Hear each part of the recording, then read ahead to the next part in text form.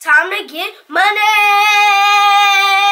Welcome back, guys. It's a SportTastic Kid. Parents are always telling you you're too young to make money. You guys want to know how to get money? Well, you came to the right place. Today, I'm going to tell you guys five ways to make money. I just turned nine years old and I've been making money. Oh, you don't believe me? Letter Q, Q, cue the video!